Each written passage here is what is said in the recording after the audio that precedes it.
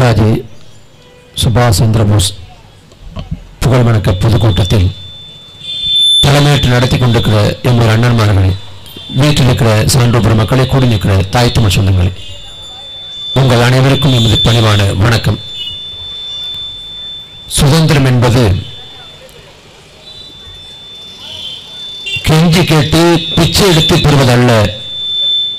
மாறாக ரத்தம் சிந்தி விகிர்வு சிந்தி உயிரை விலையாக கொடுத்து பெறுகிற புனிதமான உரிமை என்கிறார் தலைவர் பிரபாகரன் அவர்கள். அவருக்கு வழிகாட்டியாக திகழ்ந்த நேதாஜி சுபாஷ் சந்திர போஸ் விடுதலை என்பது நாம் கேட்டு பெறுவதல்ல மாறாக நாம் போராடி பெற வேண்டியது என்கிறார். இந்திய விடுதலைக்காக அளப்பரிய பங்களிப்பை செய்தவர் நேதாஜி சுபாஷ் சந்திர போஸ்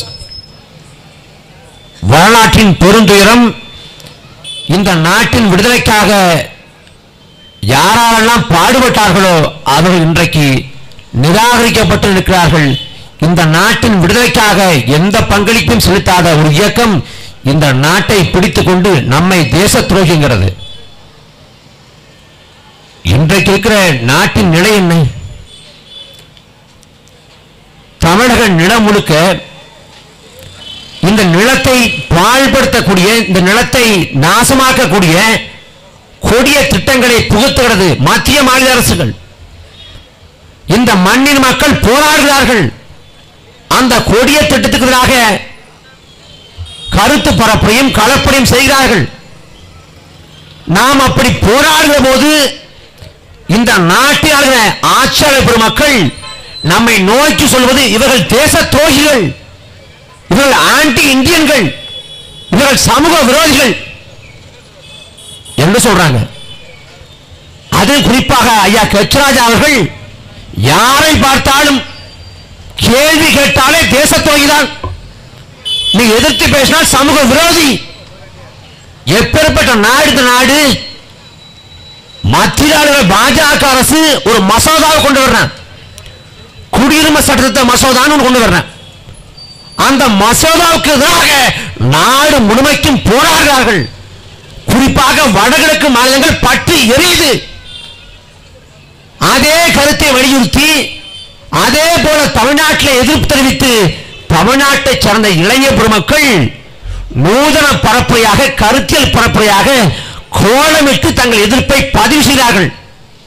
அப்படி கோலமிட்டதற்காக இந்த நாட்டிலே அவர்கள் கை செய்யப்படுகிறார்கள் கோலமிட்டதும் கோஷமிட்டதும் நாட்டிலே தேச துரோகம்ங்கிற அளவில் வந்துவிட்டது. கேட்டா ஐயா எடப்பாடி பழனிசாமி சொல்றாங்க அடுத்த வீட்டுல கோலம் போட்டா அவங்களை எப்படி ஏத்துக்க முடியும்? உங்களை கை செய்யாம என்ன செய்யுங்க?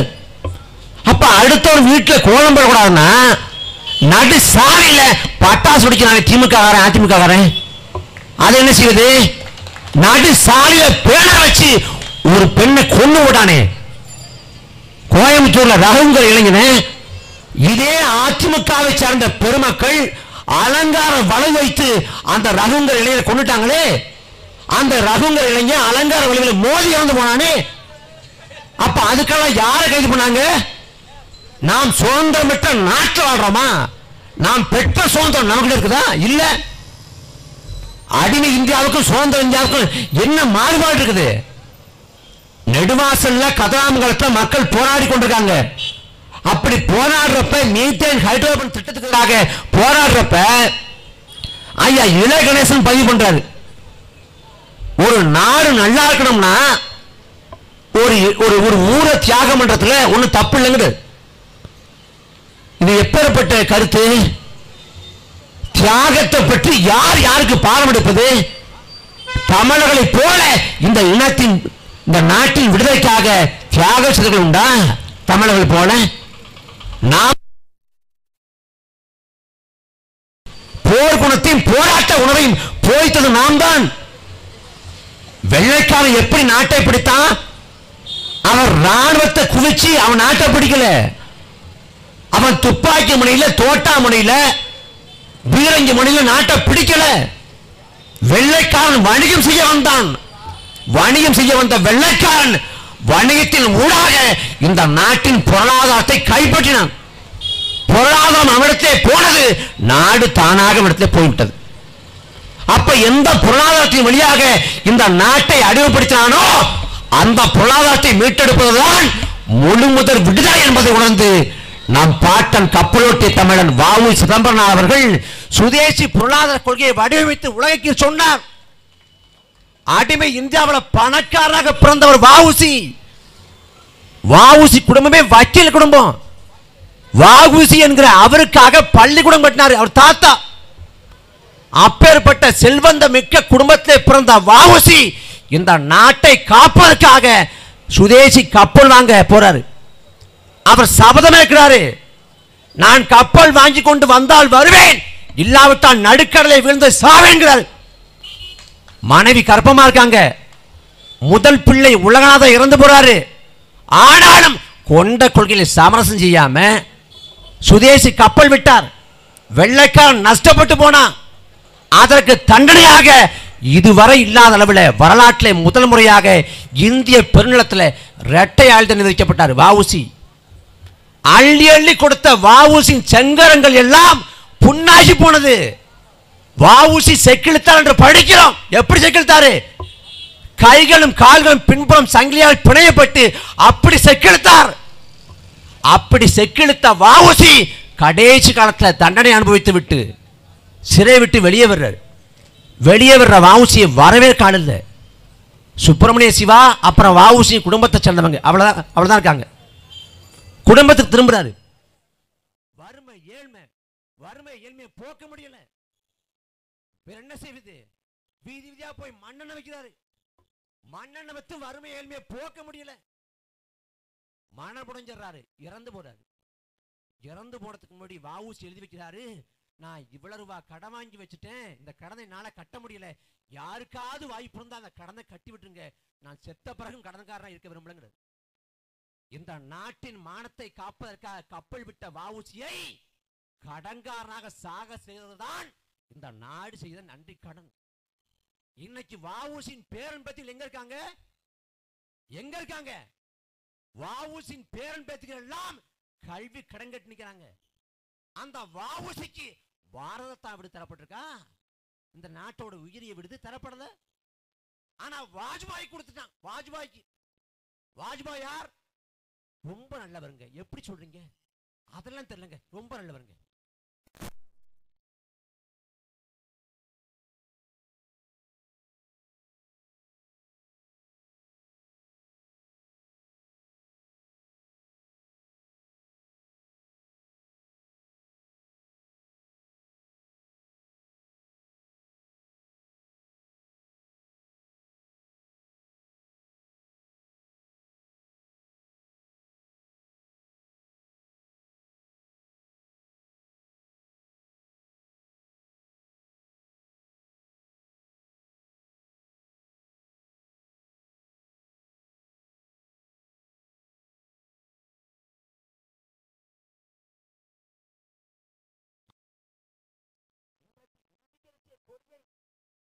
பாஜக தூக்கி பிடிக்குது. ஆனா இதே இந்தி தேசிய கொடி மூவர்ண கொடியை அன்றைக்கு மறுத்தார்கள். இதே பாஜகவின் தாய் கழகமான ஆர் எஸ் சேர்ந்தவங்க. கோல்வார்க்க சொல்றாரு மூவர்ண கொடியை ஏற்க முடியாது. யார் சொல்றா? ஆர்எஸ்எஸ் ஏற்க முடியாது. ஒரு மூன்று ஆண்டுக்கு முடி டெல்லியில யோகா தினத்தை ஒட்டி ஒரு நிகழ்வு நடக்குது. அதில் ஐயா மோடி அவர்கள் பங்கேற்று யோகாசனத்தை பங்கேற்றுட்டு தோளில் வந்து மூவர்ண கொடியை போட்டிருக்காரு. உடம்புல வழிந்தோற வியர்விய அந்த தேசிய கொடியை வச்சு இந்தி தேசிய கொடியை வச்சு மூவர்ண கொடியை வச்சு தொடங்கினார். ஆனால் அந்த கோழி வீழ்ந்து விடக் கூடாது. தாழ்ந்து விடக் கூடாது என்பதற்காக எங்கள் பாட்டன் திருப்பூர் குமரன் தடியை வைத்து அடித்து மண்டையை பிளந்த பிறகும் கூட உயிரை விட்டானே ஒளிய கொள்கையை விடல கொடியை விடல. அந்த திருப்பூர் குமரனின் பேர பிள்ளைகள் இன்னைக்கு தேச துறைகளாக மாறி போனோம். நேதாஜி சுபாஷ் சந்திர போஸ் இந்தி தேசிய ராணுவத்தை கட்டமைத்தார். அந்த ராணுவத்தில் பெண்கள் படைப்பிரிவுக்கு தலைமையற்றவர் ஒரு பெண். அந்த பெண் தமிழ் பெண் தமிழச்சி. அந்த நேதாஜி சுபாஷ் சந்திர போஸ் சொல்றாரு அடுத்த பிறவி என்ற ஒன்று இருக்கும் என்றால் அந்த பிறவியிலே நான் தமிழ்நாடு பிறக்க விரும்புகிறேன் ஏன்? நேதாஜியின் படையில இருந்ததுல பெரும்பான்மை தமிழர்கள். தமிழக செய்த அர்ப்பணிப்பு தியாகம் உழைப்பு ரத்தம் சிந்தி வீரம் சிந்தி போரிட்டார்கள். அந்த போரிட்ட அந்த தியாகத்தை பார்த்து மெய் சிலித்து போய் சொன்னார் தேசப்பிதா காந்தி அந்த காந்தி பதிவு பண்றாரு. எனக்கு விடுதலை உணர்வை ஊட்டியதே தில்லையாடி வள்ளியம்ங்கிற தமிழச்சி தான் என் சித்தப்பா இறந்து போனது போது கூட நான் இவ்வளவு அளவில்லை. ஆனால் தில்லையாடி வள்ளியம்மை மனத்துக்கு நான் அழுதேன். பெரிய தாக்கத்தை ஏற்படுத்தியிருக்கிறது. ஆனா இன்னைக்கு தமிழர்கள் தான் விடுதலை பெற்று தந்தார்கள். பெருவாரியான பங்கை செலுத்தினார்கள். ஆனா இன்னைக்கு ஆர்எஸ்எஸ் கையில நாடு போயிடுச்சு. பாஜக கையில நாடு போயிடுச்சு. பாஜகவுக்கு இந்த நாட்டின் விடுதலைக்கு தொடர்பு இருக்கா? பாஜக அன்னைக்கு இல்ல. பாஜகவின் தாய் கழகமான ஆர்எஸ்எஸ் இருந்துச்சு. ஆர்எஸ்எஸ் இயக்கம் இந்தியா விடுதலை பெறுவதற்கு 25 ஆண்டுக்கு முன்பே தொடங்கப்பட்டுச்சு. அந்த 25 ஆண்டு காலத்துல ஆர்எஸ் இயக்கத்தை சார்ந்த யாராவது ஒருவர் இந்திய விடுதலைக்காக பாடுபட்டார்கிற வரலாற்று செய்தி உண்டா? ஒரு செய்தி வெள்ளையனை வெளியேறு போராட்டம் சைமன் குழு வெளியேறு போராட்டம் உப்பு சத்தியாகிரகம் எந்த போராட்டத்துல ஆர்எஸ்எஸ் பங்கேற்றுச்சு? அன்றைக்கு நேதாஜி சுபாஷ் சந்திர போஸ் ஒரு முழக்கத்தை முன்வைத்தார். ரத்தத்தை தாருங்கள் நான் உங்களுக்கு பரிசாக விடுதலை தர்றேன்னாரு. இந்த நாட்டு மக்களுக்கு அருகூல் எடுத்தாரு விடுதலைக்காக. அன்றைக்கு நேதாஜி சுபாஷ் சந்திர போஸ் அழைத்த போது தென்னகத்திலே பசுமன் முத்துராமலிங்க தேவர் சென்றார். ஆனா இந்த நாட்டுல ஆர்எஸ்எஸ் இயக்கத்தை சேர்ந்த கோல்வார்க்கர் அந்த கோல்வார்க்கர் சொல்றாரு பிரிட்டிஷ் படையில பிரிட்டிஷ் ராணுவத்தை சேருங்க வெள்ளைக்கானுக்கு பாதுகாப்பாக இருப்போம் என்று அழைத்தவர் ஆர்எஸ்எஸ் இயக்கத்தை சேர்ந்த கோல்வார்க்கர் இந்த பாஜக யார முன்னிறுத்தினான் சாவர்கர்னு ஒருத்தர் காட்டுறான். கேட்டா வீர சர்வார்கர் வெறும் சாவர்கர் தான். வீரன் சேர்த்துக்கிட்டான். வீரபாகு போல. இந்த பேக்கரி டீனிங் வீரபாகு போல சேர்த்துக்கிட்டான். அந்த சாவர்கருக்கு என்ன வரலாறு? நீதிபதி கொலை வழக்கில் தண்டமனை பெற்று அந்தமான் சிறையில் அடைக்கப்படுறார். அடைக்கப்பட்ட பிறகாக ஒரு முறைக்கு ஆறு முறை வெள்ளைக்காரனுக்கு கடிதம் எழுதுறார். வெள்ளை ஏகாதிபத்திய அரசு என்னை இரக்கத்தோடும் கருணையோடும் அணுக வேண்டும். நான் கடைசி மணி வரை கடைசி துணி வரை நான் வெள்ளைக்கார அரசுகளுக்கு ஏகாதிபத்தியத்துக்கு நான் விசுவாசியாக இருப்பேன். சொன்னவர் யார்? இந்த பாஜகவின் தாய் கழகமா இருக்கிற அரசு சேர்ந்த சாவர்கர். ஆனா அதே காலத்தில் பகத்சிங்க்கு தூக்கு தண்ணி நிறைவேற்றப்பட்டது அவர் தூக்கிடுவதற்கு முன்பாக அவர்கிட்ட கேட்கிறாங்க நீ வேணா மன்னிப்பு கடிதம் எழுதி கொடுத்துட்டு நீ வெளியே போய் இதை விட விரியமா பாடலாமேன்னு. நான் இன்றைக்கு சாகலாம். எனக்கு பிறகாக ஆயிரம் ஆயிரம் பகத்சிங்கள் இந்த நாட்டிலே தோன்றுவார்கள். அவர்கள் இந்த நாட்டின் விடுதலைக்காக பாடுபடுவார்கள். அவர்கள் விடுதலை பெற்றுத்தருவார்கள் பகத்சிங் அவரும் கடிதம் எழுதுறாரு. யாரு? அதே வெள்ளைக்கார மாகாணத்தின் ஆட்சியாளர் பெருமக்களுக்கு. அவர் என்ன எழுதுறாரு? நான் வெள்ளைக்காரர்களை எதிர்த்து நான் போரிட்டுள்ளேன். நான் போரிட்டதற்கு கைமாறாக என்னை போர் கைதி போல் நடத்த வேண்டும். என்னை தூக்கிலை போடக்கூடாது. என்னை சுட்டு வீழ்த்த வேண்டும். இல்லாவிட்டால் பீரங்கை விட்டு பிழைக்க வேண்டும் பகத்சிங். அந்த பகத்சிங்க்கு இன்னைக்கு அங்கீகாரம் இல்ல. அந்த நேதாஜிக்கு அங்கீகாரம் இல்ல. வாவுசிக்கு அங்கீகாரம் இல்ல. நமது முன்னோர்களுக்கு அங்கீகாரம் இல்ல. ஆனா ஆர்எஸ்எஸ் இயக்கம் ஒட்டுமொத்த தேசபக்தி குத்தகைக்கிறது போல பேசு. நேதாஜி சுபாஷ் சந்திர போஸ் தான் சொல்றாரு. என்ன சொல்றாரு? ஒரு கட்சியை அடியற்றி கொண்டு வழிபற்றி கொண்டு அந்த கட்சி சொல்வதையெல்லாம் வேதமாக ஏற்றுக்கொண்டு அப்படியே நடப்பதுதான் தேச பக்தி என்றால் அந்த தேச பக்தி என் கால் செருப்புக்கு சமங்கிறது. பாரதிய ஜனதா தான் எங்களை தேச பற்றாளர் என்று சொல்லும் என்றால் நாங்க தேச துரோகியா இருந்துட்டு போறோம். என்ன பிரச்சனை? யார் தேச விடுதலைக்காக பாடுபடுறா? யார் நாட்டுக்காக அர்ப்பணிப்பு செலுத்துறா? பாஜகவுக்கு நோக்கம் இருக்குதா? பாஜகவுக்கு ஆறு ஆண்டுகளை பாஜக ஆட்சியில இந்த நாட்டு மக்களுக்கு செஞ்ச எதையாவது ஒன்றை நல்லதுன்னு சொல்ல முடியுமா? ரெண்டாயிரத்தி பதினாலு நாடாளுமன்ற தேர்தல் பரப்புல ஐயா மோடி பேசாதவங்க இருக்கா? எல்லாத்தையும் பேசினாரு. மோடி ஆட்சிக்கு வந்தால் எல்லாமே சரியாகிவிடும். சர்வலோக நிவாரணி போல பேசினார். அறுபது ஆண்டுகாலம் அறுபது மாதங்கள் திருநத்தை ஆட்சியை கொடுங்கள் நான் வறுமையை உணர்ந்தவன் ஏழ்மையை உணர்ந்தவன். நான் ஏழை மக்களுக்கு விசுவாசியாக இருப்பேன். ஏழை மக்களின் நலனுக்காக பாடுபடுவேன் சொன்னவர் மோடி. ஆட்சிக்கு வந்தான் பாஜக. ஆட்சிக்கு வந்த முதல் மாதத்துல அன்னைக்கு விலை உயர்ந்து போச்சு. அத்தியாவசிய பொருட்கள் விலை உயர்ந்து போச்சு. உயர்ந்தவன அன்னைக்கு கேட்கறாங்க என்னங்க தக்காளி விலை ஏறி போச்சு? அப்படின்னு. பாஜகவின் துணைத் தலைவர் பிரபாசா சொல்றாரு தக்காளி ஏழைகளுக்கான உணவு இல்லை.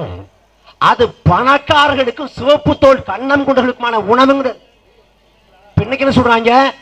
வெங்காய விலை ஏறி போச்சு. பூண்டு விலை ஏறி போச்சுன்னா வெங்காயம் பூண்டு நாங்க சாப்பிடுறது இல்லை யார் சொல்றா? அம்மையார் நிர்மலா சீதாராமன். நாங்க என்ன சொல்றோம்? கனிவோடு அம்மையார் நிர்மலா சீதாராமன் கட்டாயம் வெங்காயம் பூண்டும் சாப்பிடணும். அப்படி சாப்பிட்டாவது கொஞ்சமாவது கொழுப்பு குறைதான்னு பார்க்கணும். என்ன திமிர் பேச்சு? என்ன திமிர் பேச்சு?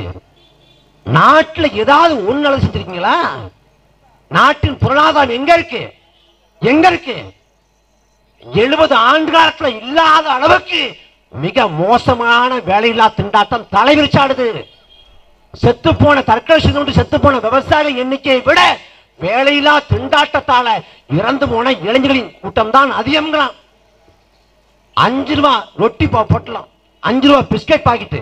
அதை வாங்க மக்கள் பல மணி நேரம் யோசிக்கிறான். ஏன் மக்கள்கிட்ட கையில காசு இல்ல? அத்தியாவசியமா இருக்கிற உள்ளாடை. அந்த உள்ளாடைகளை வாங்குற முயற்சியை மக்கள் தள்ளி போறாங்க. ஏன் காசு இல்ல? அதுக்கு என்ன சொல்லுது பாஜக? நிதின் கட்காரி கேட்கறாங்க ஐயா நிதின் கட்காரி. அவர் என்ன சொல்றாரு இல்லைங்க அப்படிலாம் ஒண்ணு இல்லைங்க. எல்லார்ட்டையும் காசு இருக்கு. மக்கள் எல்லார்ட்டையும் காசு இருக்கு. கார் வாங்குற அளவுக்கு எல்லார்ட்டையும் காசு இருக்கு. என்ன ஒண்ணு காரை பார்க்கிங் பண்ணதான் இடம் இல்லை. யார் சொல்றா? நிதின் கட்காரி. என்ன சொல்றாங்க? நாட்டு மக்கள் செல்வ செழிப்புல திளைக்கிறாங்க. பணக்காரா இருக்காங்க. அதை நம்ம நம்பணும். அதே நேரத்துல மோடி என்பவர் அவர் மிகப்பெரிய ஏழைத்தாயின் மகன். அதை நம்பணும். எப்பேற்பட்ட நாடு? நாட்டுல பொருளாதாரம் விழுந்துருச்சு உள்நாட்டு உற்பத்தி கீழே போச்சு. ஒரு விழுக்காடு உள்நாட்டு உற்பத்தி கீழே போனால் ஒன்று புள்ளி ஐந்து லட்சம் கோடி நாட்டுக்கு இழப்பு ஏற்படும் அப்போ எவ்வளவு பெரிய பொருளாதார வீழ்ச்சி நாடு இருக்குது? இதை சரி ஏதாவது திட்டம் இருக்குதா? அதற்கான முன்னெடுப்பு இருக்கா? இல்லை. ஆனா நாட்டு மக்களை பிளவுபடுத்த நாட்டு மக்களை துண்டாட ஆயிரத்தை கொண்டு வருமா இப்ப குடியுரிமை சட்டத்தை மசோதா கொண்டு வர்றான்ல. எது கொண்டு வர்றான்? அஸ்ஸாமில் என்ன சொன்னா அஸ்ஸாமில் அந்த மண்ணை சார்ந்த மக்கள் அவங்களை விட அங்கு வந்த குடியேறியர்கள் அதிகம். அயலார் அதிகம் அதிகம். அப்ப அந்த மண்ணில் மக்கள் போராடுறான் பல ஆண்டா. ராஜீவ் காந்தி ஆட்சி காலத்தில் ஒரு வழியாக ஒப்பந்தம் போடப்படுது. அந்த ஒப்பந்தத்தின் ஊடாக ஆயிரத்தி தொள்ளாயிரத்தி எழுபத்தொன்னு மார்ச் இருபத்தி நாலு இதுக்கு பிறகு வந்தவன் பூரா அயலாரு. அவன் அப்புறம் வெளியேற்றணும்னு ஒரு கணக்கெடுப்பு நடத்துறான். இந்த பாஜக இடம் என்ன கருத்துருவாக்கம் பண்றான். அந்த அயலாருன்னு யார சொல்றீங்களோ அவங்க வேற யாரும் இல்லை. எல்லாம் முஸ்லீம்ங்கிறான். கணக்கெடுப்பு எடுக்கப்படுது.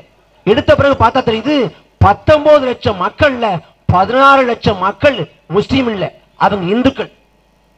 அப்ப என்ன? பாஜக சொன்ன கருத்துருவாக்கம் செய்த கருத்துருவாக்கம் பிழையாக போய் அவமானப்பட்டு விடக் கூடாது என்பதற்காக அந்த பதினாறு லட்சம் பேருக்கு குடியுரிமைக்காகத்தான் இந்தியாவின் குடியுரிமை சட்டத்தை மசோதாவை திருத்துறான். என்ன சொல்றான்? பாகிஸ்தான் பங்களாதேஷ் ஆப்கானிஸ்தான் அந்த நாடுகள் வர்ற இஸ்லாமியர் அல்லாத இந்துக்கள் பாரசிகள் சமணர்கள் பௌத்தர்கள் கிறிஸ்தவர்கள் எல்லாருக்கும் குடியுரிமை தருவோம். ஆனா முஸ்லீமுக்கு மட்டும் கிடையாதுங்கிறான். என்ன சொல்றான்? அதெல்லாம் இஸ்லாமிய நாடு. இஸ்லாமியரை விரட்ட மாட்டாங்கிறான் என்ன பைத்தியகரத்தனமா இருக்குது? இந்தியாவிலிருந்து பாகிஸ்தான் பிரிந்தது காரணம் மதம். ஆனா பாகிஸ்தான் வந்து பங்களாதேஷ் பிரிஞ்சது காரணம் மதம் இல்ல மொழி. அன்றைக்கு மொழியால நாட்டை விட்டு வெளியே வந்தான்.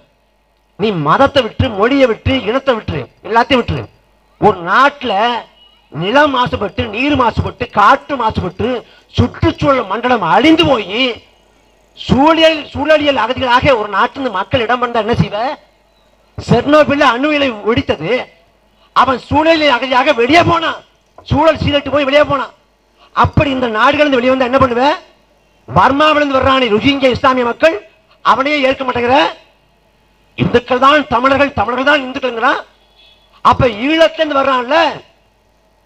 சிங்கள அரச பயங்கரவாத அரசால இன ஒதுக்கெடுக்கு இன படுகொலைக்கு ஆட்பட்டு இலங்கையை விட்டு தமிழ்நாட்டை நம்பி வர்றானே. அவனுக்கே குடியுரிமை தரல? காரணம் என்ன? தமிழர்களை இந்துக்களாக ஒருபோதும் மதிப்பது இல்லை ஏற்பது இல்லை. ஆனா இங்க வந்து அரசியலுக்காக பேசுவான். தமிழர்கள் தான் இந்துக்கள் இந்துக்கள் தான் தமிழர்கள். இலங்கையில மீராவி நீராடியான்னு ஒரு இடம். அந்த இடத்துல பிள்ளையார் கோயிலுக்குள்ள பிள்ளையார் கோயிலுக்குள்ள புத்த பிக்கோட உடலை வச்சு எரிக்கிறான்.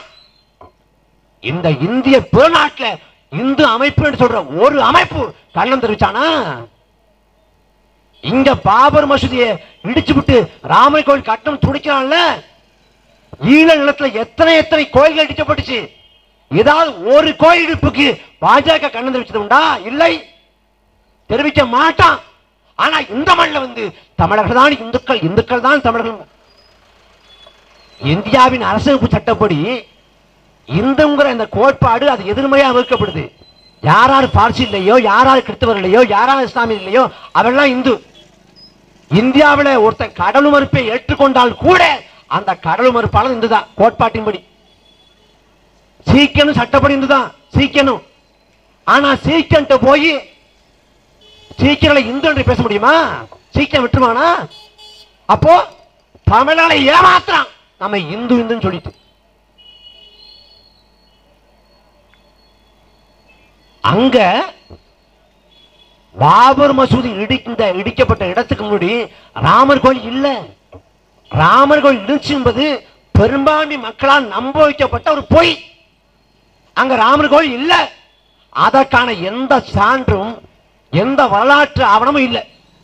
ஆனா இல்லாத ராமர் கோயிலுக்காக துடைக்கிற பாரதிய ஜனதா. இதே தமிழ்நாட்டில் கும்பகோணம் பக்கம் ராஜேந்திர சோழன் காலத்தில் திருப்பணி செய்யப்பட்ட நாகநாத சுவாமி கோயில் கடந்த 25 ஆண்டு காலத்துக்கு உள்ள அந்த கோயில் இடித்து தரைமாட்டமாக்கப்பட்டது யார் சொல்றா? நாம் சொல்லலை. யுனெஸ்கோ சொல்லுது. சிவன் கோயில் இடிச்சிட்டான். எந்த பாஜக தலைவனாவது கண்ணம் தெரிவிச்சானா தமிழர்கள் இந்துக்கள் என்றால் ஈழத்தை கொலை செய்யப்பட்ட ரெண்டு லட்சம் தமிழர்கள் குறைந்தபட்சம் ஒன்றரை லட்சம் பேர் இந்து. ஒன்றரை லட்சம் இந்துக்களை கொண்டழைத்தவன் ராஜபக்சே இன்னைக்கு யார் அதிகாரத்தில் இருக்கான் கோத்தபய ராஜபக்சே கோத்தபய ராஜபக்சே அதிபரா இருக்கான் மகிந்தா ராஜபக்சே பிரதமரா இருக்கான் நேற்று அறிவிச்சு நான் கோத்தபய ராஜபக்சே நீங்க காணாமல் போயிட்டாங்கன்னு சொல்லி நீங்க போராடினீங்கல்ல கேட்டீங்கல்ல? அந்த காணாமல் போன இருபதாயிரம் தமிழர்கள் கொலை செய்யப்பட்டு விட்டார்கள். யார் சொல்றா? ராஜபக்சே. இந்த நாட்டில் இந்த அமைப்புன்னு பேசுற ஆண்மை உள்ள எவனாவது ஒருவன் கண்ணம் தெரிவிச்சானா? பேசுவானா? அந்த இருபதாயிரம் தமிழர்ல ஒருத்தன் கூட இந்து இல்லையா? ஒருத்தன் கூட. ஏன் பேசுறது இல்ல ஏன் பேசுறது இல்ல பாஜகங்கிற கட்சி இஸ்லாமியர்களுக்கு எதிரானது என்று நினைக்கிறோம். கிறிஸ்தவ மக்களுக்கு எதிரான நினைக்கிறோம். அது மனித குலத்துக்கு எதிரானது. மனித குலத்துக்கு எதிரானது எந்த தேசத்துக்கும் தேவையில்லை. இவனோட ஆட்சி காலத்துல இவன் சாதனை என்று சொல்ல முடியுமா? பாஜக என்ன சொன்னா முதல்ல? ரெண்டாயிரத்தி பதினாலுல ஐயா மோடி பேசினாங்க. நாடு முழுமைக்கும் சுத்தி போய் பேசினாரு. பாரதிய ஜனதா ஆட்சிக்கு வந்தால் நாட்டிலே பாலாரும் தேனாரும் கரைபுரண்டு ஓடும். நாடு வளர்ச்சாகி செழித்தோங்கும் இந்தியா முழுக்க இருக்கிற பெரும்பெரும் பணக்காரர்கள் பதுக்கி ஒதுக்கி வைத்திருக்கிற கருப்பணத்தை மீட்டெடுத்து ஒவ்வொரு இந்திய குடிமகனின் வங்கி கணக்கிலும் தனா பதினைந்து லட்சம் பணத்தை போடுவோம். பேசுவர் மோடி. இன்னைக்கு பாஜகவை சார்ந்த தலைமை பெருமக்கள் சொல்லட்டும்.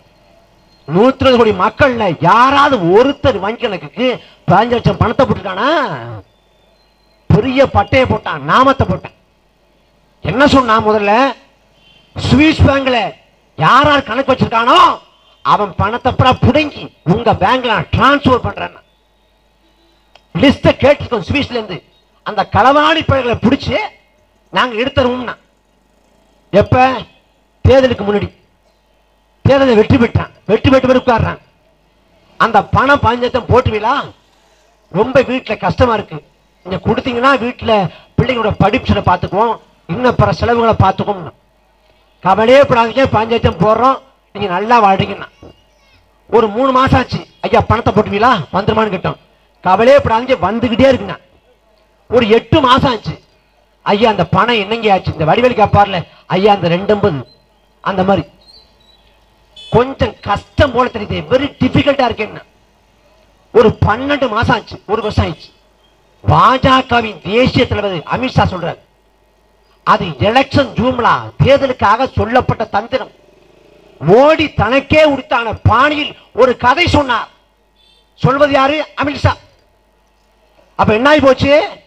நாம வெளிப்படையா சொல்றோம். வடக்குபடி ராமசாமிக்கு கவுண்டமணி கொடுத்த பணம் கூட திரும்பி வந்தாலும் வரும். மோடி எடுப்பதாக சொன்ன கருப்பணம் ஒரு காலத்தையும் வராது. வாய்ப்பே இல்லை. வரவே வராது. ஐயா நிதின் கட்காட்ட கேட்கிறாங்க அவர் மனம் திறந்து பேசாரு என்னங்க பாஜக ஆட்சிக்கு வரதுக்கு முன்னாடி எண்ணற்ற வாக்குறுதிகளை கொடுத்தீங்க? உன்னை கூட நிறைவேற்ற முடியல உங்களால அப்படின்னு. அதுக்கு ஐயா நிதின் கட்காரி சொல்றாங்க முதல்லங்க நாங்க ஆட்சிக்கு ரொம்ப நாங்க நினைக்கலங்க. நாங்க குத்து மதிப்பா வாயில வந்தப்பறம் அடிச்சு விட்டோம். அவங்க பாட்டுக்கு ஓட்ட போட்டாங்க இப்ப என்ன படும் தெரியல யார் சொல்றா? நிதின் கட்காரி. இப்ப மறுபடியும் ஐயா மோடி ஒரு மூணு மாசத்துக்கு முடி கருப்பணத்தை ஒழிக்காமல் ஓய மாட்டோம். கருப்பணம் எங்க இருந்தாலும் தேடி பிடித்து அடிப்போம். யார் ஐயா மோடி? இவனுக்கு அரசியல் என்ன பாஜகவுக்கு? ஒண்ணு பசுமாடு இன்னொன்னு பாகிஸ்தான் நாடு. இதை விட்டு அரசியலே இல்லை. இவன் திரும்ப திரும்ப என்ன காட்டுறான் இந்தியாவுக்கும் பாகிஸ்தானு கிரிக்கெட் போட்டி நடந்துச்சுன்னா நாட்டு மக்களை வந்து தொலைக்காட்சி போட்டி முடி உட்கார வச்சிடறான். யார்கிட்ட வேணாலும் நீங்க தோக்கலாங்க பாகிஸ்தான் தோத்தரக்கூடாதுங்கிறாங்க நடந்து முடிந்த உலக கிரிக்கெட் போட்டி. அந்த கிரிக்கெட் போட்டியில் பாகிஸ்தான் தோல்வி சந்திச்சிச்சு. திரும்ப வந்து அரை இதுக்குள்ளே போக முடியாதுன்னு ஒரு நிலைமை ஆகி போச்சு. அந்த அந்த இதுக்குள்ள. அப்போ என்ன ஒரு வாய்ப்பு வருதுன்னா ஒருவேளை இந்தியா இங்கிலாந்தை தோல் இங்கிலாந்தை தோற்கடிச்சா பாகிஸ்தான் உள்ள வந்துடலாம். அப்ப என்ன சொல்றான்?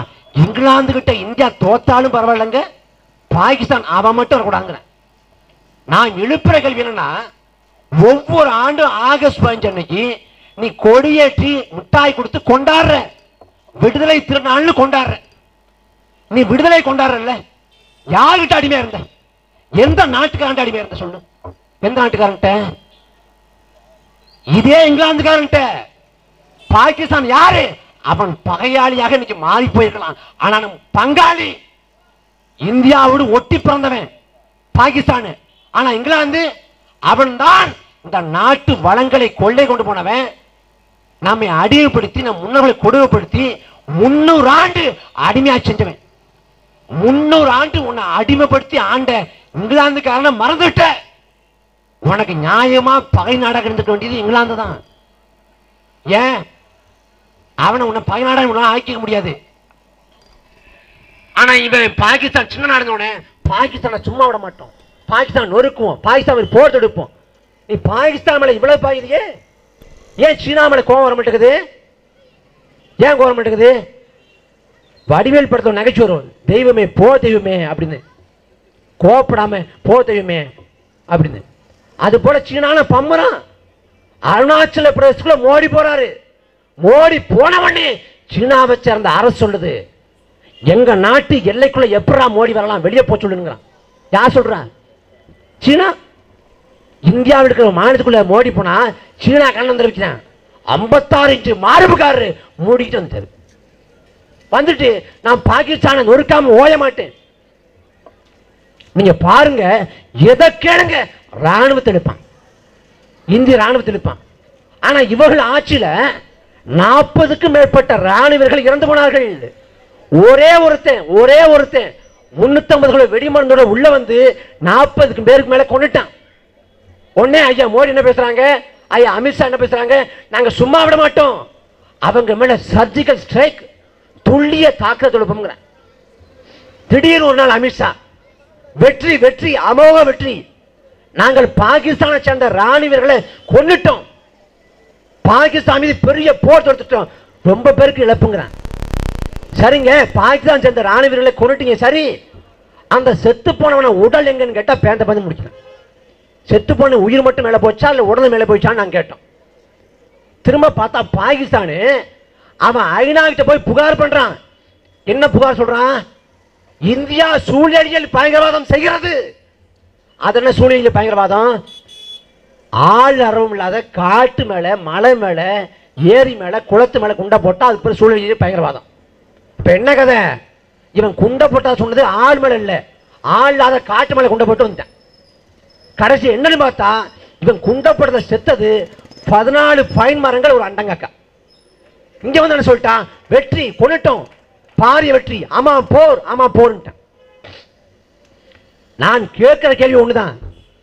பாஜக கருப்பணத்தை மீட் பண்ண சொன்னால நீ கருப்பணத்தை மீட்டு பாஞ்சு லட்சம் போட வேண்டாம். ஆணியை புடுங்க வேண்டாம். பணத்தை செல்லாத இருந்துச்சல்ல இதே போல ஒரு நல்லியவள் ஐயா மோடி ஐநூறு ரூபாய் தாள் செல்லாது ஆயிரம் ரூபாய் தாள் செல்லாது. நான் பண மதிப்பிழப்பை அறிவிக்கிறேன். இது கருப்பு பணத்துக்கான துல்லிய தாக்குதல் சர்ஜிக்கல் ஸ்ட்ரைக். ஐம்பது நாட்கள் பொறுத்துக் கொள்ளுங்கள். ஐம்பது நாட்களுக்குள் கருப்பணம் ஒழியவில்லை என்றால் என்னை பெட்ரோல் ஊத்தி கொளுத்து விடுங்கள். பேசியவர் மோடி. கருப்பணத்தை ஒழிச்சினா இல்லைன்னா பெட்ரோல் ஊற்றி கொளுத்திருந்தார் நாம சோழியை முடிச்சிருந்தா கேச போட்டுருவாங்க. அது வேற. இப்போ என்ன? நாட்டு மக்கள் பார்க்கறான். ஐம்பது நாள் 50 டேஸ் ஒன்று கருப்பனை ஒழிஞ்சிரும் இல்லை நாட்டை பிடிச்ச பீடை ஒழிஞ்சிரும் எப்படி பார்த்தாலும் நாட்டுக்கு லாபம் தான். ஐம்பது நாள் தான் பல்ல கடிச்சு பொறுத்துக்கும் படுத்துக்கிட்டான் ஐம்பது நாள் ஆச்சு கருப்பனை இம்மையால கூட கொடிய குறையல. பெட்ரோல் ஊற்றி கொளுத்துருவேன்னு சொன்னவர் கொளுத்துங்கன்னு சொன்னவர் பெட்ரோல் சொல்லி ஏற்றிட்டார் எப்படிப்பட்ட பிரதமர்? என் அன்பார்ந்த சொந்தங்களே நாம் கேள்வி எழுப்புறோம். இந்தியாங்கிற நாடு நூற்றி இருபது கோடி மக்கள் தொகை கொண்ட நாடு. இந்த நாட்டில் இதுவரைக்கும் கல்வி அறிவில் தண்ணீர் போல. மலை கிராமங்கள் குக்கிராமங்கள் மின்சாரம் போய் சேராத கிராமங்கள் பள்ளிக்கூடங்கள் இல்லாத கிராமங்கள் அடிப்படை வசதி தனிவு பெறாத கிராமங்கள் இந்தியாவில் பல்லாயிரக்கணக்கா இருக்குது. இந்த நாட்டில் ஒரு நடுராத்தில் பணம் செல்லான்னு சொன்னால் அந்த நாட்டு மக்களுக்கு எப்படி புரியும்? எம்ஜிஆர் செத்து போன செய்தியை நாட்டில் போய் சேரடா போய்?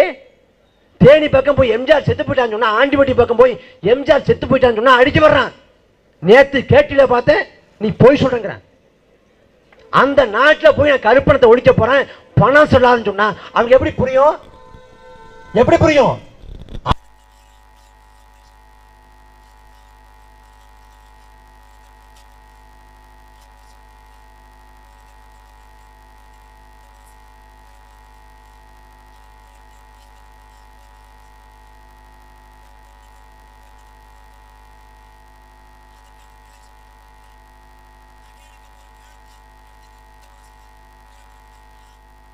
பேங்க்ல போய் நிற்பாரா பொண்ணோட திருமணத்தை பார்ப்பாரா?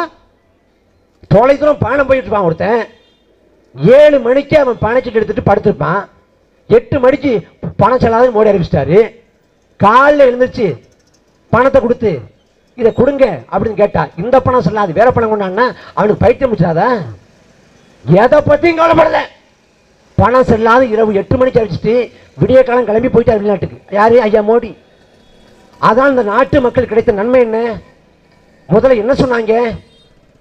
கருப்பணம்னா முதல்ல என்ன? சங்கர் படத்தை பார்த்து இந்த சுசி கணேசன் படத்தை பார்த்து ரொம்ப கெட்டு போயிட்டாங்க நாட்டு மக்கள். கருப்பணம்னா அவன் வந்து வீட்டில் கட்டுக்கீழ் கட்டிலுக்கு அடிச்சு வச்சிருக்க மாட்டான். கிணத்துக்குள்ள போட்டு வச்சிருக்க மாட்டான். செவத்துக்குள்ள வச்சிருக்க மாட்டான். பீரோல வச்சிருக்க மாட்டான்.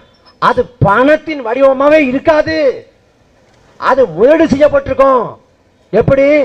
தங்கமாக நிலமாக முதலீடாக சொத்தாக தொழிலாக உள்நாட்டிலையும் வெளிநாட்டிலையும் முதலீடு செய்யப்பட்டிருக்கும்.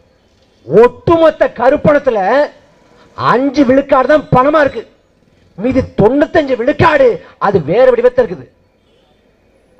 கடந்த பத்து ஆண்டு காலத்துல இந்தியாவை விட்டு வெளியே போன கருப்பணத்தை எண்ணிக்கை மட்டும் முன்னூத்தம்பது லட்சம் கோடி. சராசரியா ஒரு ஆண்டு ஒன்று இருக்கு. முப்பத்தஞ்சு லட்சம் கோடி போகுது.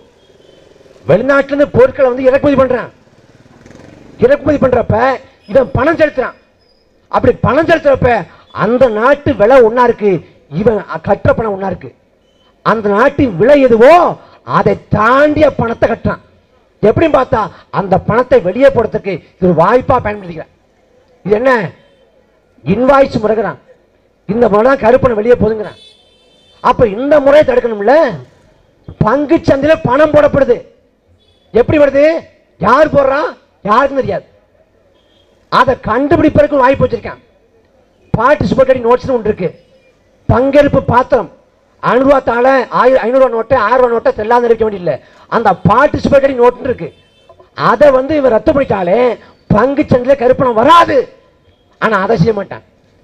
வெறும் பணத்தை செல்லாத அடிச்சிட்டான் இது எப்பேற்பட்ட முடிவு? முதல்ல என்ன சொன்னா நாங்க பணத்தை செல்லாதுன்னு அறிவிக்கிறோம். செல்லாது என்று அறிவிக்கிற பணத்தில் ஒரு மூணு லட்சம் கோடி நாலு லட்சம் கோடி பணம் வங்கிக்கு வராது திரும்பாது. அந்த மூணு லட்சம் கோடி நாலு லட்சம் கோடி பணத்தை நாங்கள் Reserve Bank of India RBI கிட்ட பேசி கலெக்ட் பண்ணி வாங்கிக்கோம்னு. ஆனால் என்ன ஆகி போச்சு?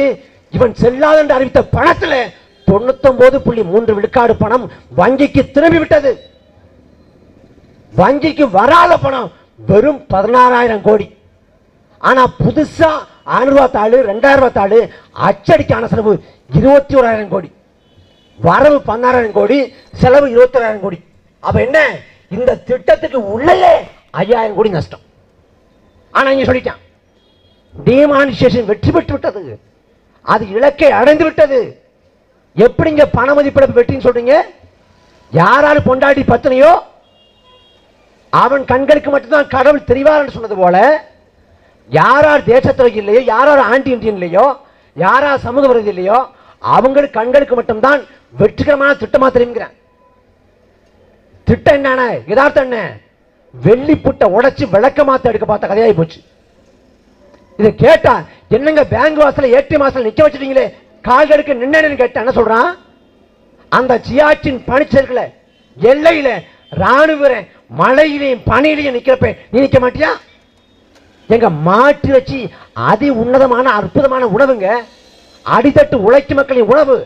அதுக்கு நீ தடையை போட்டீங்கன்னு கேட்டா உன்னை சியாச்சின் பணிச்சிருக்கல அந்த மலையிலையும் அந்த பனிலையும் கால் கடுக்க ராணுவ நிக்கிறப்ப நீ சாப்பாட்டுக்காக நிக்க மாட்டியாங்கிறான் எங்க ஜிஎஸ்டி ஏத்தி விட்டீங்க நீங்க இப்ப பார்த்தா இப்ப உணவகத்தை சாப்பிட முடியாது விலை உயர்ந்து போச்சுன்னு கேட்டா அந்த சியாச்சின் பணிச்சிருக்கல ஏ என்னதாண்டா கதை உங்க சியாச்சின் கதை?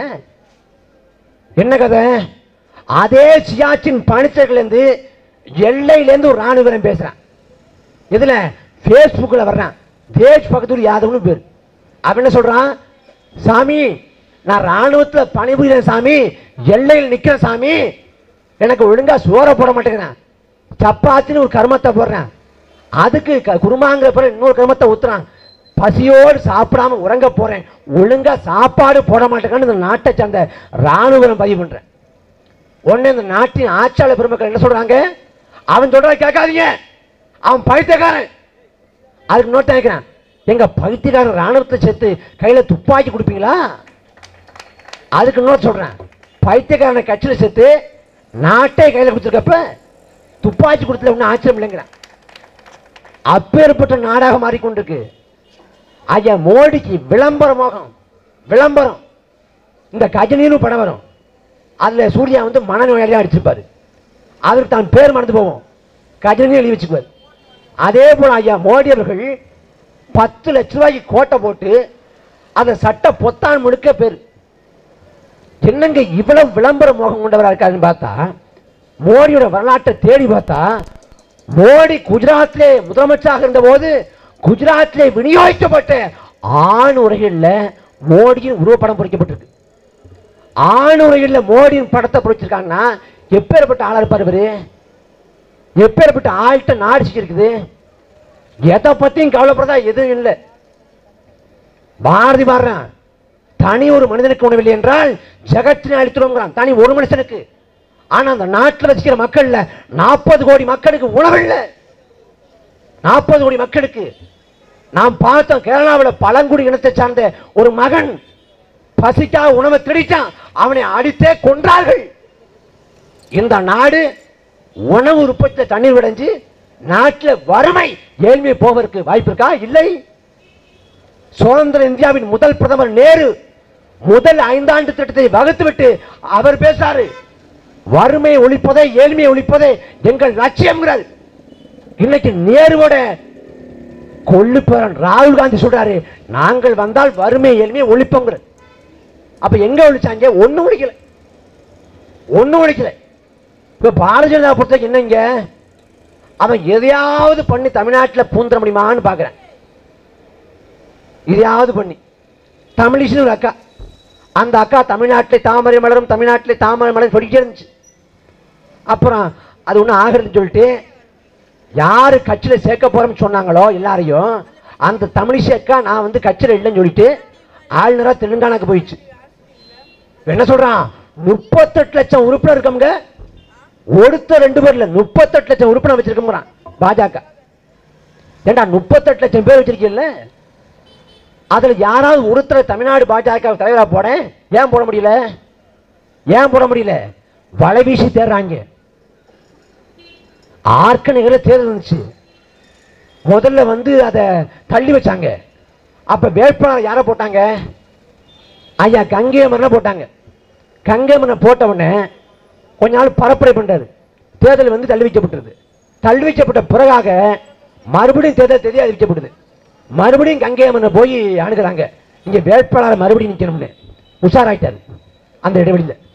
இல்லைங்க நிற்க முடியாதுங்க எனக்கு வாய்ப்பு இல்லைன்ட்டார். நான் கொஞ்சோண்டு பேரும் புகழையும் சம்பாதிச்சு வச்சிருக்கேன். அதை இழக்க தரலன்ட்டார் இல்லைங்க நீங்கள் நின்னே ஆகணும்ட்டாங்க. கங்கையம்மனை போய் நெஞ்ச பிடிச்சிட்டு போய் மருத்துவமனையில் படுத்துட்டார். இங்க போலீஸ் விசாரணைக்கு பயந்துக்கிட்டு சிபிஐ விசாரணைக்கு பயந்துக்கிட்டு மருத்துவமனையில் படுத்த செய்தி கேள்விப்பட்டிருப்போம். ஒரு கட்சியில வந்து வேப்பலம் அணிக்க சொல்றாங்கன்னு போய் படுத்தவர் ஐயா கங்கை மரம் கொண்டு வர முடியல. கங்கை தண்ணியை கொண்டு வரணும்னா கங்கை மரம் கொண்டு வர முடியல. இவன் என்ன சொல்றான்? முப்பத்தெட்டு லட்சம் உறுப்பினருங்கிறான். இவன் எந்த லட்சணத்தை சேர்த்து வச்சிருக்கான்? ட்விட்டருங்கிற ஒரு தளம் இருக்குது. ட்விட்டர்னு ஃபேஸ்புக் போல ஒரு தளம். அதில் பாஜக எதிர்த்து போட்டவனே கீழே ஒருத்தன் வந்து கமெண்ட் போடுறான். நீங்க இவ்வளவு பிஜேபியை பேசுறீங்க எங்க மோடியை பேசுறீங்க உனக்கு சவால் விடுறேன்.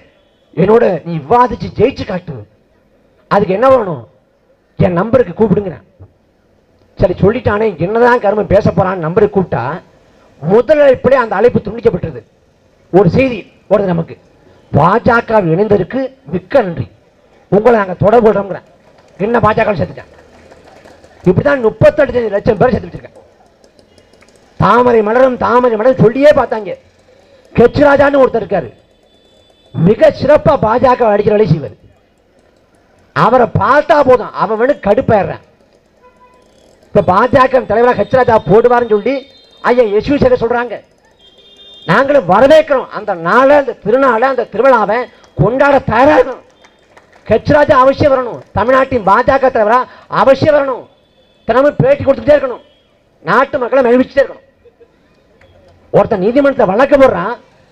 இவ்வளவு பண்றாரே ஹெச் ராஜா அம்பத்தூர்ல.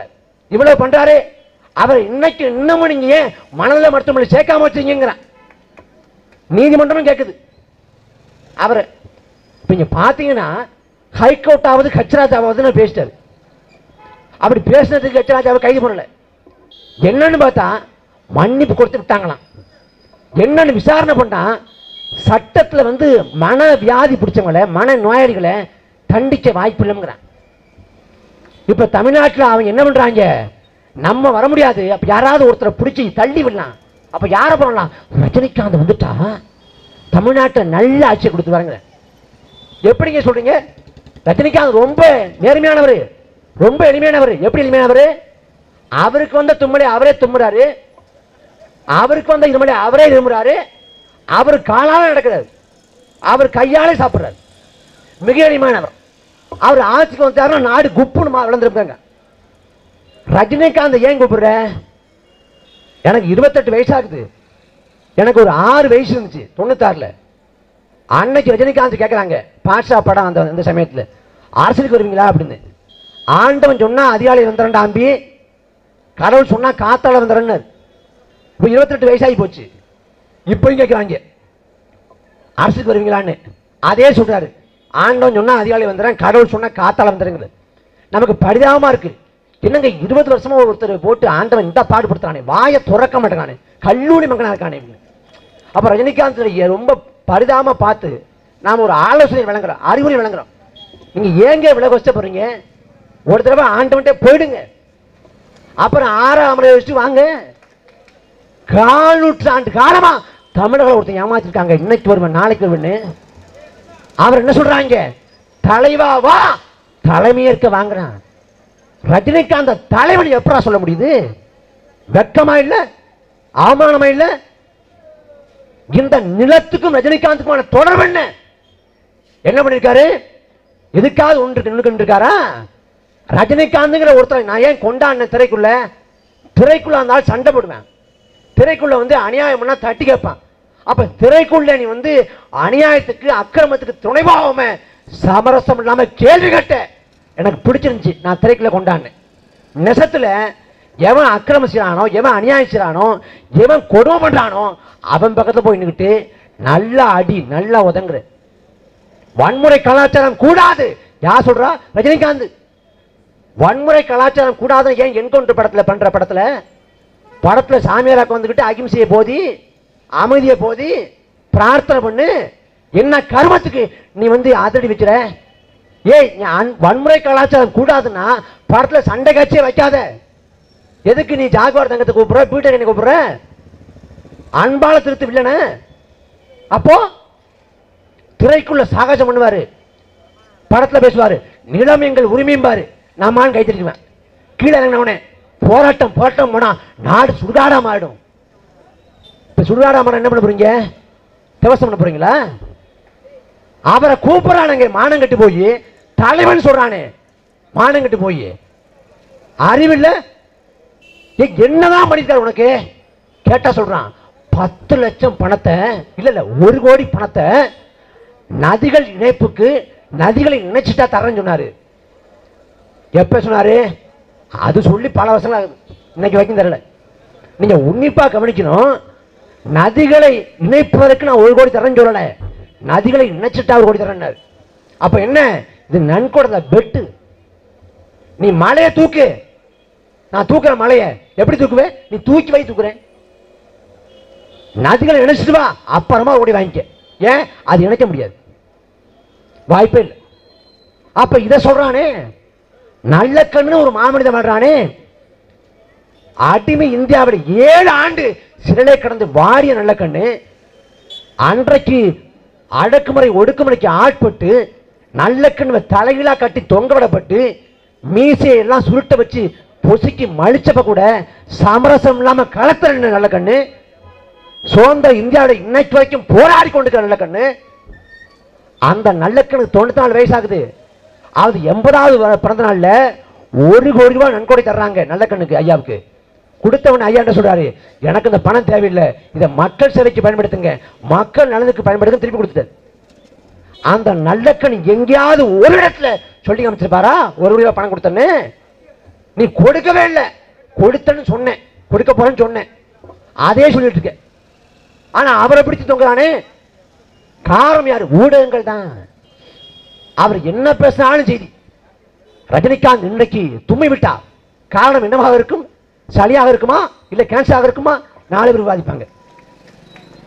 நாலு பேர். அவரு காடா பட படப்பிடிப்புக்கு போறாரு. வானூதி நிலையத்தை நிற்கிறாரு. தமிழ்நாட்டு கலா சூழல் குறித்து உங்க கருத்து நான் ஒன்றும் சொல்ல விரும்பல. சொல்லிட்டு போயிட்டார். இங்க நாலு பேர் உட்காந்துட்டு அவர் என்ன சொல்ல வர்றாருன்னா அவன் தான் சொல்லலன்ட்டு போயிட்டாங்கடா அப்புறம் என்ன சொல்ல வர்றாருன்னா ஒரு முதன்மை தொலைக்காட்சியில் செய்தி. ரஜினிகாந்த் ஆட்டோவில் போனார். ஆட்டோ தாடா போனா பானையில் போடல இது ஏன் பேசுறீங்க? ரஜினிகாந்த சுத்தி சுத்தியே பேசுறான். அவர் தான் தலைப்பு செய்தி. அவர் பெரியாரை பத்தி பேசுறாரு. ஒரு கரமாந்தம் தெரியாது. நான் சத்தியம் பண்ணி சொல்றேன் ரஜினிகாந்துக்கு ஒரு கரமாந்தம் தெரியாது. நீ எடப்பாடி பழனிசாமி கம்பராமணன் தந்த சேர்க்கலாங்கிறாரு நான் முட்டாளுங்கிறோம். எடப்பாடி பழனிசாமியை விட செல்லூர் ராஜுவை விட ஆயிரம் மடங்கு முட்டாள் ரஜினிகாந்த். பார்லமெண்ட் தேர்தல் வாக்குப்பதிவு நடந்துட்டு இருக்குது. வாக்குப்பதிவு எப்ப கேட்கறாங்க என்னங்க எப்பயும் இல்லாம சென்னையில வாக்குப்பதிவு விழுக்காடு குறைஞ்சிருச்சு அப்படின்னு. கேக்குறாங்க. ரஜினிகாந்த் சொல்றாரு. சென்னையில் இருக்க முறை ஊருக்கு போயிட்டான். வாக்குப்பதிவு குறைஞ்சிருச்சு. டேய் அவன் ஓட்டு போட போனான்டா. எதுவுமே தெரியல. ஆனா இவரை சுத்தியே பேசுறான். இது வந்தா எல்லாம் அப்படியே புடிங்கி தள்ளிடுவாரு. ஆக சிறந்த நல்லவர். நல்லவர் தானங்க ஆண்டுட்டு போட்டோம் அப்படின்னு. என்ன பேச்சுது? நல்லவர்கள் நாட்டை ஆளலாம் என்றால் வெள்ளைக்காரங்களை எதிர்த்து விடுதலை போராட்டம் அதுக்கு வெள்ளைக்காரங்களை ஒரு நிலம் கூட இல்ல முன்னூறு ஆண்டு ஆண்டான்ல ஒரு நல்ல கூட இல்லையா? வில்லியம் பெண்டியம் பிரபுங்கிற வெள்ளைக்காரன் அவன் உடன்கட்டு இருக்கிற கொடிய பழக்கத்தை ஒழிச்சான். விதவைகள் மரமணி சட்டத்தை கொண்டு வந்தான். பெண் சிசுகளையே தடுத்தான். அதே போல டல்கவுசி பிரபு அவன் தான் நாடு முழுமைக்கும் இந்த தொடர் வேண்டிய இருப்பு பாதை ட்ரெயின் ரயில்வே ட்ராக்கை போட்டான். முல்லை பெரியாற்று அணை கட்டியிருந்தானே பெண்ணுக்கு நான் இந்த பூமியில வந்தது ஒரே ஒரு முறைதான். அப்போது ஒரு நற்காரியம் பண்ணணும். அது நாட்டு மக்களுக்காக இருக்கட்டும் சொல்லி லண்டனுக்கு போய் தன் மனைவியின் நகை வைத்து நமக்கு அணை தந்தானே முல்லை பெரியாறு அணை தந்தானே பெண்ணுக்குங்கிற மாமனிதன். இந்த டல்கவுசி பிரபு இந்த வெள்ளியம் பெண்டிங் பிரபு இந்த பெண்ணுக்கு இவன் நல்லவன் இல்லையா? சேவை மனப்பான்மை உடம்பு இல்லையா? சிறுத்தவாதி இல்லையா? அவனையே நாட்டால் விடுத. அப்ப என்ன முழக்கத்தை முன்னிச்சிருக்கணும் எப்பா முன்னூறு ஆண்டா இந்த நாட்டை வாழ்ந்துட்டீங்க. உங்க பிள்ளைகளும் இங்கே பிறந்துருச்சு. அதுவும் இங்க உள்ள மொழிகளை பேச ஆரம்பிச்சிருச்சு. நீங்க வேணா என்ன பண்ணுங்க? உங்கள யார் நல்லவனோ அவனை ஆள சொல்லுங்க. அப்படிதானே பேசிருக்கணும் நல்லவனே நாட்டி ஆடு தீயவனே வெளியேறு இதான் முழக்கமா இருந்துக்கணும். ஆனா என்ன முழக்கம் முன்வைக்கப்பட்டது வெள்ளையனே வெளியேறுனா நீ ஆக சிறந்த நல்லாட்சி தந்தாலும் மிக சிறப்பான பொற்காலத்தை படைத்தாலும் நீ அந்நியன். என் நிலத்தை ஆளக்கூடாது. வெளியே போடானா அன்றைக்கு வெள்ளையனே வெளியேறுகிற முழக்கம் வைக்கப்பட்டது சரி என்றால் அது தார்மீகம் என்றால் அது அறம் என்றால் இன்றைக்கு நாங்கள் முன்வைக்கிற தமிழ்நாட்டை தமிழே ஆள வேண்டும்ங்கிற முழக்கமும் சரிதான். இன்னைக்கு ஏழு பேசலாம். எங்களை கேடு கிண்டல் பண்ணலாம். ஆனா காலம் உணர்த்தும். நீ என்ன பண்ண போற? திமுக அதிமுக நம்பி போக போறியா? என்ன பண்ணிருக்கா உனக்கு? மன்னராட்சி முறை ஏன் வீழ்த்தப்பட்டது? மக்களாட்சி முறை ஏன் கொண்டு வரப்பட்டது? ஒரே குடும்பத்துக்கிட்ட அதிகாரம் குவியக்கூடாது. அதனால மன்னராட்சி முறையை வீழ்த்தினான். இன்னைக்கு கருணாநிதி அவருக்கு பிறகு ஸ்டாலின் அவருக்கு பிறகு உதயநிதி ஒரே குடும்பம் ஆதிக்கம் செலுத்துது. அப்ப இது மன்னராட்சி முறை போல இல்லையா? திமுகவை சேர்ந்த நேரு சொல்றாரு கருணாநிதி குடும்பத்துல யார் தலைவரா வந்தாலும் நாங்க ஏத்துக்கோங்கிற கருணாநிதி குடும்பத்துல ஒரு பைத்தியகாரம் வர்றான். ஏத்துக்குவியா? என்ன பேச்சு? அதிமுக நம்பர் என்ன ஓட்டு போற அதிமுகவுக்கு மானம் கட்டு போய் திமுகவுக்கும் அதிமுகவுக்கும். பகவத்கீதையை பேசுறான்ல. புனித நூலுங்கிறான்ல அந்த பகவத்கீதை ஒரு காட்சி. அரண்மனைக்குள்ள திரௌபதியோட ஆடை அவிழ்க்கப்படுது. சேலை உருவப்படுது. துச்சாதன உருவுறான் உருவுகிற போது அவர் அலறான் ஐயோ என் மானம் போகுதேன்னு. அப்ப கிருஷ்ண பரமாத்மா அவதரித்து அவள் மானத்தை காக்கிறது. இது காட்சி. ஒரு பெண்ணோட ஆடை அவிழ்க்கப்படுறப்ப அந்த இறைவனே அவதரித்து வர்றாங்க நீ நிஜத்தை பாரு. நிஜத்துல பாரு. பொள்ளாச்சி நடந்துச்சு. பொள்ளாச்சியில ஒரு தங்கச்சியோட காத்தல ஓடி அந்த ஓலம் அந்த அழுகுரல் அந்த விம்மல் சத்தம் உன் காதை பிளக்கல? காதை பிளக்கல? வாட்ஸ்அப்ல பேஸ்புக்ல எல்லாத்தையும் வந்துச்சு ஒரு தங்கச்சி கதறா பொள்ளாச்சி பாலியல் வன்புணர்ச்சிக்கு உள்ளாக்கப்பட்ட ஒரு தங்கச்சி. அண்ணா அடிக்காதீங்கன்னா அண்ணா அடிக்காதீங்கன்னா நான் ஆடி அவுக்கிறேனா நான் ட்ரெஸ்ஸை கலெக்டனா அடிக்காதீங்கிறா பெல்டால் அடிக்காதீங்கிறா அவ ஆடி அவுத்தாளே. அப்போது அம்மனமாக இருந்தது அந்த தங்கச்சி அல்ல. இந்த இனத்தோட மானம் வீரம் கவரமும் ஒட்டுமொத்த தமிழனும். தலை குனிஞ்சு இருக்கணும் நின்னியா? எவன் ஆடி அவிழ்த்து அமனமாக்கினானோ அவனுக்கு அதிகாரத்தை கொடுத்து ஓட்ட போட்டு திரும்ப அதிகாரத்தை கொண்டு போனேன். மறுபடியும் எடப்பாடி போடுற. மறுபடியும் திமுக போடுற. தூத்துக்குடியில் பதினாலு பேர் சுட்டு கொண்டானே கேட்க நான் இருக்கா கேட்க நான் இருக்கா அடிமை இந்தியாவில் ஜாலியன் வாலாபாக்களை சுட்டு கொலைச்சுதான். அன்றைக்கு ஜெனரல் டயரு அன்னைக்கு அரசு எடுத்து போறான்னா அதுக்காக சுட்டு கொண்டான். இன்னைக்கு அரசு எடுத்து கூட போடல ஒரு தனியார் நிறுவனம் ஸ்டெர்லைட் அதுக்கு தான் போடுறான் அதுக்கு சுட்டு கொண்டுட்டான். அன்னைக்கு ஜாலியன் வாலாபா படுகொலை நடந்ததற்கு பிரிட்டன் பார்லிமென்றம் வருத்தம் தெரிவிக்கிறது. ஆனா சுதந்திர இந்தியாவில் தூத்துக்குடியில பதினாலு பேர் சுட்டுக் கொண்டானே பதினேழு வயது தங்கை ஸ்னோலின் துப்பாக்கி தோட்டா தொண்டைக்குடி வழியாக உள்ளே போய் மூளை சிதறி இறந்து போனாலே அந்த தங்கச்சி செஞ்ச பாவம் என்ன? எவன் சுட்டு கொன்னானோ அவனுக்கு தான் நீ ஓட்டு போடுற. திமுகவுக்கு அதிமுகவுக்கும். ஜெயிக்கிற கட்சிக்கு ஓட்டு போடணுங்கிற. கட்சிகள் ஆட்சிகள் ஜெயிக்கும். நீங்க தோத்து போவீங்க. நாங்கள் ஒரு முழக்கத்தை தெளிவா இருக்கும். சேகுவரா முழங்கிய முழக்கம் தான் நாங்கள் மக்களுக்கான போராட்ட களத்திலே சமரசமற்று நிற்போம். நாங்கள் இந்த போராட்ட களத்திலே வெற்றி பெற்றால் மகிழ்வோம். ஒருவேளை வீழ்த்தப்பட்டால் தோற்கடிக்கப்பட்டால் வரலாற்றில் வாழ்வோம்னா. அதான் நாங்க சொல்றோம். சேகுவரா பெருமையோடு சொல்றான். மரணத்தை ஆற தழுவுறான். அவன் என்ன சொல்றான்? நாம் சாவு ஊர்வலத்திலே போர் பறைகள் முழங்கும் என்றால் போர் குரல்கள் நாம் விட்டு வைத்த ஆயுதத்தை இன்னொரு கரம் பற்றி எடுக்கும் என்றால் நமது லட்சிய நெருப்பை நெஞ்சே சுமந்து இளைஞர் கூட்டம் திரளாக கூடும் என்றால் அந்த சாவை தலை கொள்ள நாங்கள் பெருமை கொள்றோம்னா. வங்காரி மாத்தாய்ங்கிற ஒரு போராளி தாய் மரங்களின் தாய் என போட்டப்படுற வங்காரி தாய் அந்த வங்காரி தாய் சொல்றா இந்த வழக்கொள்ளைக்கு எதிராக மக்களை அரசியல்படுத்தாது மக்களை தெளிவூட்டாது மக்களை வலியுறுத்தாது வளங்கள் கொள்ளை போவதை தடுக்க முடியாதுங்கிறார். நாங்கள் மக்களை அரசியல்படுத்துறோம். இவன் கொள்ளக்காரன் இவன் திருட்டு போய் அயோக்கியப்பன் சொல்கிறான் அதுக்கு பிறகு திமுக தான் போடுவேன். அதிமுக தான் போடுவேன் நாசமா போறதா ஒன்றும் செய்ய முடியாது. ஒண்ணுமே செய்ய முடியாது. என்ன செய்வீங்க? யார் தீர்ப்பா? தெரியுதா உனக்கு? லஞ்ச நேரத்தை வாங்குற. ஊழல் எல்லாம் செய்யறான் கொலகாரன் கொள்ளக்காரன் அதிகாரத்தில் இருக்கான். தெரியுது இல்ல தெரியுதா இல்லையா? உனக்கு கண்முன்னே அணிதி நடந்து கூட உன்னால கேட்க முடியல. உனக்கு என்ன உரிமை இருக்கு? உன் வீட்டு வாசல்ல கோலம் போட முடியுதா? கோலம் எடுத்து கைது பண்றான். அந்த நாட்டில் வாழ்ந்துக்கிட்டு திரும்ப திமுக திரும்ப அதிமுக. வாக்கு காசு கொடுத்தா வர்றான்னா என்ன பண்றது? செருப்பு கட்டி அடிக்கணும். அடிச்சிங்களா? வாக்கு காசு கொடுக்க வந்தானா இந்த காசு எப்படி பத்தும்? அஞ்சு பேர் இருக்காங்க. பத்தாயிரம் கொடுங்க கேட்கறது காசை வாங்கிட்டு ஓட்ட போட்டுட்டு அப்புறம் அஞ்சு வருஷம் குத்துதே குறையுதேன்னா நாங்க என்ன பண்றது? என்ன பண்றது? பாவத்தை செய்கிறது நீங்க தான் நாங்க மனம் திறந்து வெளிப்படையாக மக்களின் மனசாட்சியா பேசுறோம். அறச்சிற்றமா சொல்றோம். கொலை செய்வது கொள்ளையடிப்பது வன்பனை செய்வது சுரண்டல் செய்வது சூதாடுவது இதை விட கொடிய பாவம் திமுகவுக்கும் அதிமுகவுக்கும் வாக்கு செலுத்துவதுதான். நீங்க ரட்டளைக்கு உதயசூனுக்கு வாக்கு செலுத்துகிற வரை எந்த மாற்றம் நாட்டில் சாத்தியப்படாது. படவே படாது. உங்களை போல அடித்தட்டு உழைக்கும் மக்களின் வயிற்றிலே பிறந்து ஒரு வழி இல்லாம நாங்க கட்சியா மாறிட்டோம்.